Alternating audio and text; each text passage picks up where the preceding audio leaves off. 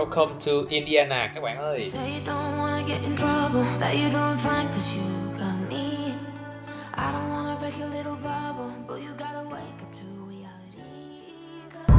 Bây giờ ngoài trời đang là 9 giờ tối. Các bạn thấy bên Mỹ cái thời tiết nó lạ ghê không?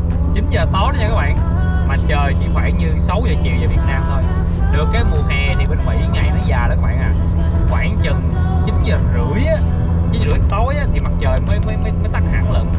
Và 5 giờ sáng là mặt trời đã đã, đã lên lại rồi.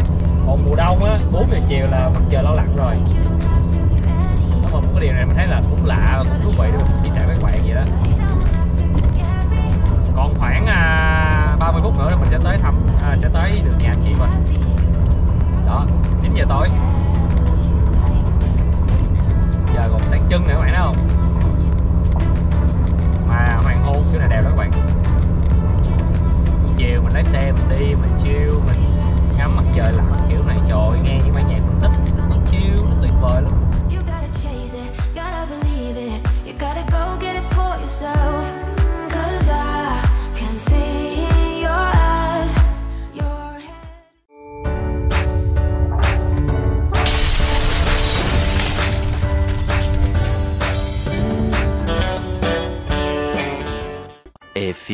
moments later. Annapolis này yên bình lắm. Thấy cuộc sống rồi mọi thứ rừng cây rồi nhiều. Đó. Người Việt cũng ít. Và tiểu bang mình nghĩ chắc cũng lạ với nhiều bạn Việt Nam lắm chưa từng nghe đâu. Để dễ hình dung thì cái bang này nó, nó nằm gần cái cái thành phố cái tiểu bang này luôn nó nằm gần à, Chicago á cách Chicago khoảng à, 3 tiếng lái xe thôi. Đó. Đó, không nha được một cái các bạn ở đây mùa hè thì mát. Mùa đông thì cực lạnh luôn nha. Mùa đông lạnh lắm. Mùa đông nó bị ảnh hưởng của cái ờ, cái cái cái cái ngũ hồ ở vùng Michigan với lại Canada nó thổi gió lạnh xuống á. Ở đây cực lạnh mùa đông luôn. Tôi nhiều khi lên tới đầu gối luôn nghe anh chị nói vậy.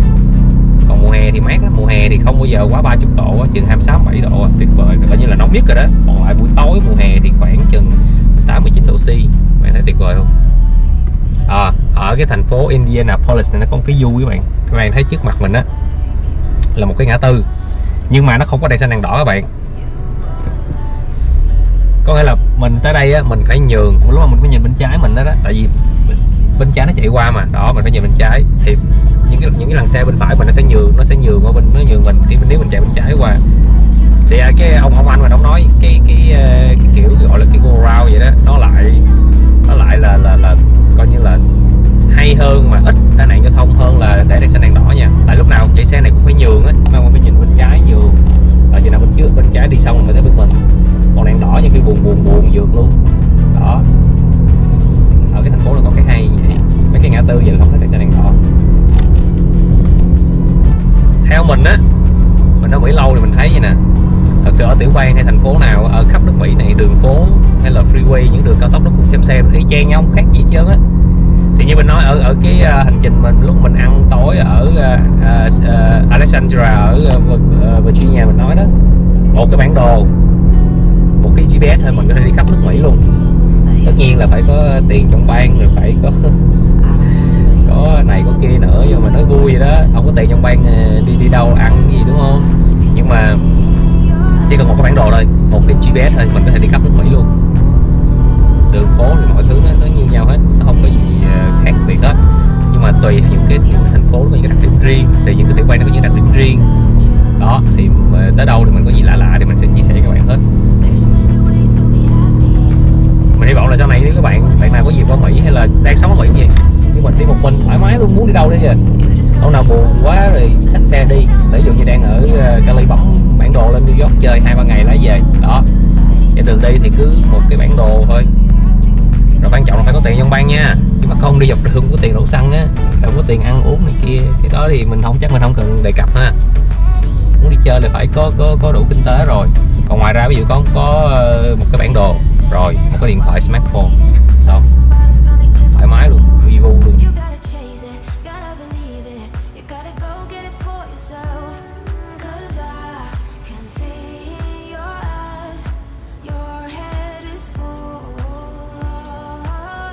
bây giờ mình đang có mặt ở trước cái chợ nó tên là Asian Mart.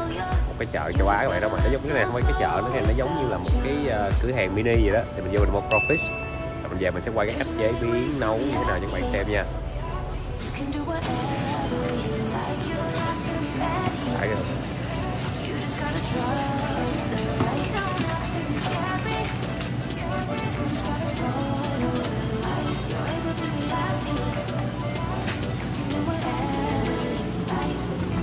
đã vậy trời.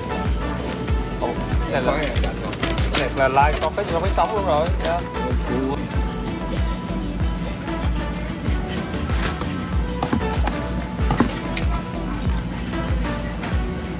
bà nữa rồi. Cái này chắc chừng chưa được chưa được năm phao luôn quá anh ơi. Nghe cái này cũng ờ ba phao tại mình lấy mấy mấy cái con jumbo không mà. Nói đi qua chợ kia coi thử đi Hôm nay mua được mỡ kia có đó jumbo kìa chết rồi. Chết rồi hả? Ồ. Đây con nào lót chi đều lấy hết?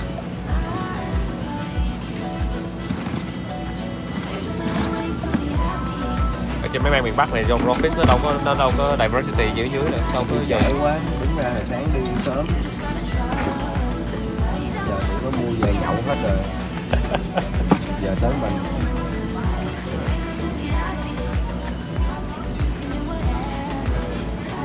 mà thấy ví dụ đó con nào mà nó nằm ngửa ra vậy nè là nó teo rồi đó. Mà nó không nhúc nhích là nó thường nó teo. Mà teo thì cái thịt nó bở lắm ăn không có ngon đúng không sếp ừ. đó ví dụ mấy con này là nó teo rồi nè teo là mình không có lấy. Ví dụ con này nó có có mấy con nó giả chết nữa các bạn. Ngồi vô đi con này nè. Đó bả giả chết đụng với bả với càng bả bắt đầu càng bả mu là bả còn sống nha. Còn mấy con mà ví dụ này này là chết nè chết thì mình không có nên lấy, tại vì tại vì mấy con chết á, thì cái cái thịt nó bở, như mình nói nó không có ngon. Đó. Con này sống nè, thấy không?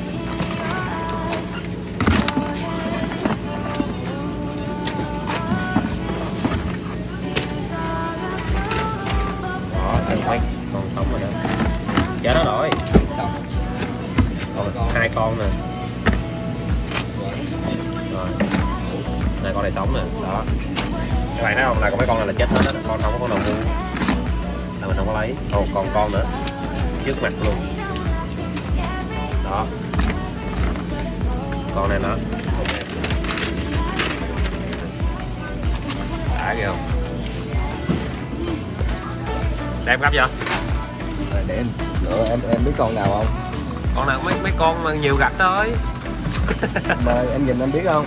Nhìn em em đoán được. Nhìn nó là biết có gạch hay không liền. Cái tích nó đen á.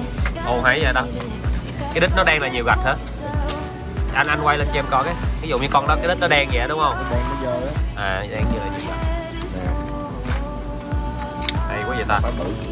Phải đi chợ với ông, ông anh mình là thiệt luôn biết thêm nhiều thứ cái cái vô cái phần đít nó mà kẹt thâm thâm đen đen là nó nhiều gạch đúng không? Đúng rồi. Ok còn còn trắng là quá là không có.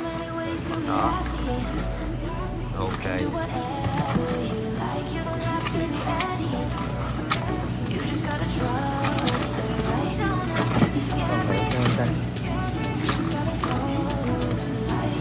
Mà cua mùa này nó ngọt thật không ta?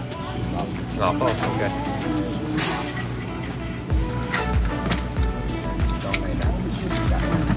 ngoài đó đó đâu đen thùi luôn đó đen và thâm thâm nữa.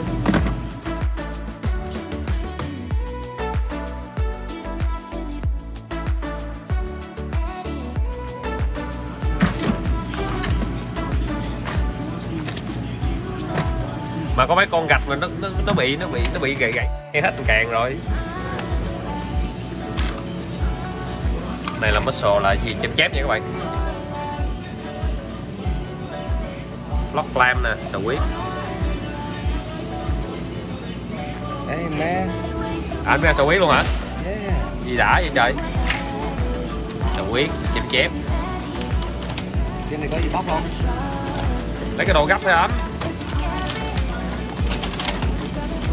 đó các bạn nè. Nè này là nghêu nữa các bạn clam để em lấy dạ yeah, chờ em xem lấy cho. Áo bóng tay nè yellow snail nè đúng không?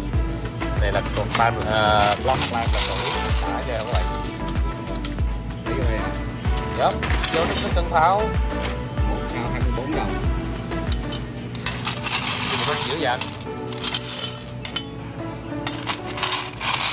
Một một à, uh, pound là có nửa ký rồi đúng không? Khoảng nửa ký. 24 đồng là chạy ra là khoảng à, uh, 25 khoảng gần 530 ngàn một ký các bạn. 530 ngàn nửa ký các bạn. Là một triệu một ký ờ, sầu huyết bên Mỹ đó. Đỉnh nhanh luôn á. Này là chém chép. Đó ha, rồi, ok. Đó. Đây sầu dương nè. Không phải sầu dương, con gì đó mình quên tên rồi. Nhớ nhớ là lúc làm ra thích ghê á. Gấp, đi ngồi đi ngồi lửa. Ngồi lửa con sống con chết. Nhìn đã ghê không sò huyết nè mà sò huyết chưa rửa đúng không Sò huyết chưa rửa, chút nữa rửa. Ok. Ok này rồi giờ Sò rửa huyết sao? Cái gì? sò tỏi Sao? Nước xiên hả? xiên là gì sò huyết sò tỏi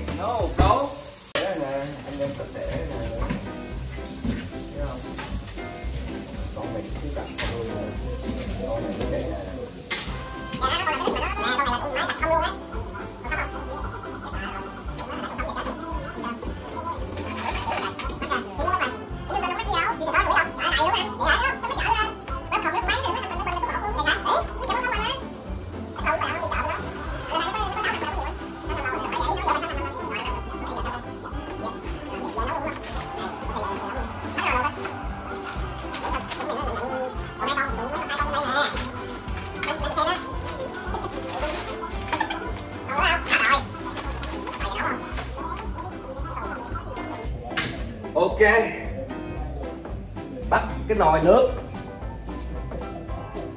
Bắt cái nồi nước. Một muỗng đường một muỗng muối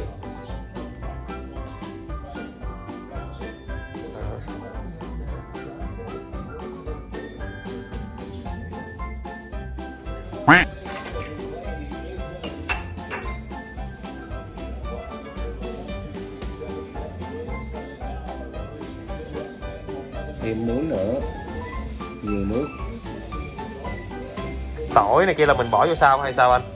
Tỏi mình xào bỏ vô cái trộn cái sốt. Còn mình mình ngâm rồi mình mình mình luộc trong lúc mình luộc mình muối cho nó thấm vô raw fish cho nó đều thịt thôi đúng không? Đúng, cái này là để cho nó thấm cái con crawfish của mình luộc nè ok. Đó, đủ rồi. Ok. Không, hai muối quay rồi nè crawfish shrimp and crab boil đúng không? Là chơi hai bịch vô. Đúng Xong. Vậy là một muỗng à, bột ngọt một muỗng muối. Muỗng chút xíu một, một muỗng nhỏ bột ngọt thôi. Một muỗng muỗng muối. Rồi hai bịch này. Đường đường rồi that's it. Rồi. Hành nè. Hành nè nấm nè. Khoai lang nè. Với lại xúc xích đó.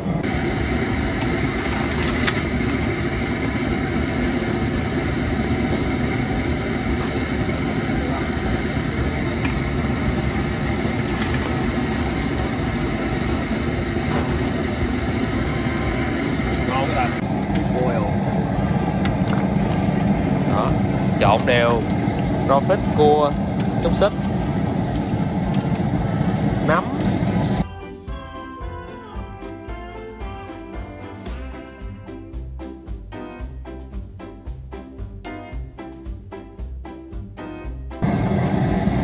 Mình làm trong khoảng bao lâu anh? Mình ờ, luộc khoảng bao lâu? Tiếng. Tiếng không các bạn? Đó. Để tiếng vậy thôi. Đó sau một tiếng đó các bạn. Đã ghê không?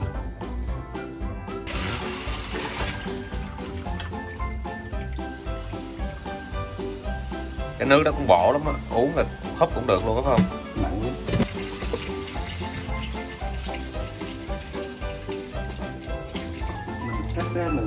bánh mì mình chấm cái nước sốt. Ok.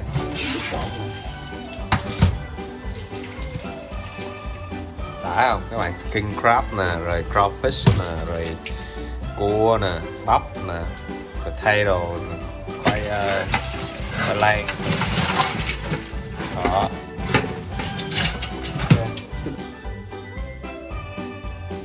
Là là nó chưa có trộn chưa có trộn với lại uh, sốt này. À, tỏi nghiền đúng không anh tỏi với bơ nghiền đó. Mix lại các bạn. Tỏi với bơ nghiền cái đó là Tỏi bột tỏi bột, phải không? Đó.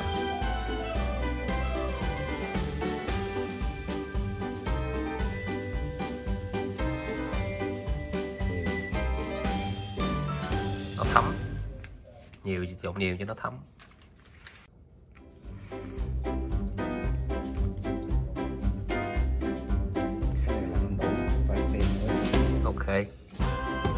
Rồi xong rồi uh, táo. Đó.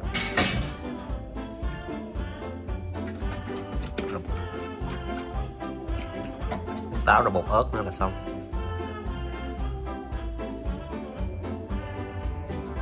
Đó nữa thêm sữa bơ nữa.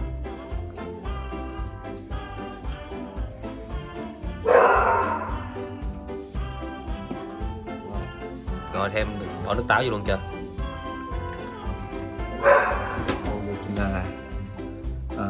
Cajun seasoning. Là cho nó có vị Cajun đúng không? Ừ, chút xíu là không có cần nhiều tại nó sẽ mặn. Hồi nãy mình ướp cái mình ướp tỏi ướp này ướp muối. Mình ướp muối nhiều rồi. muối đục muối Ừ, rồi muối nhiều rồi. Seasoning không có cần nhiều quá. Táo là sau cùng phải không?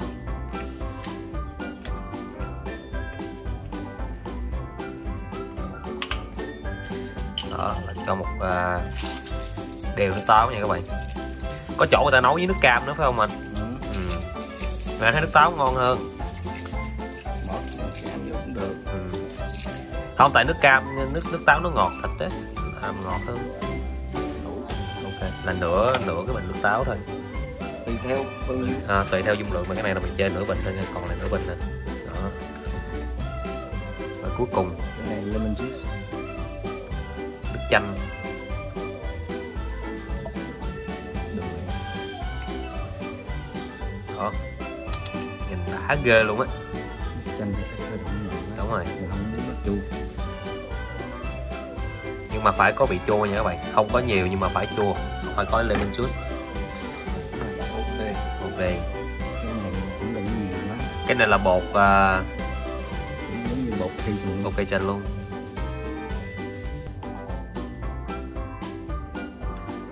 Xong. Rồi cho em một cái hũ luôn. Đây các bạn OBC seasoning nè thấy không? Lắc, nhiệt tình vô. Đó. Anh Joe đứng lắc làm em nhớ ở, ở Việt Nam mà mỗi lần Tết chơi xí ngầu á lắc y chang lắc xí ngầu luôn á.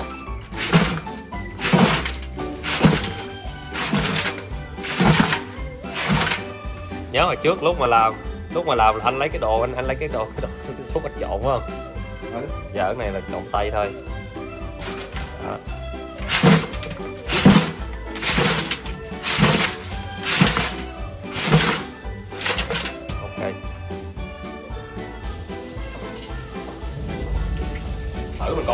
nha các bạn coi thử coi nó ok chưa nha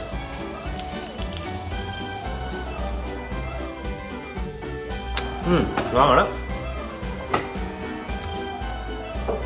Đó. ví dụ lô phích là mình bẻ ra bẻ như con tôm cầm này giúp nó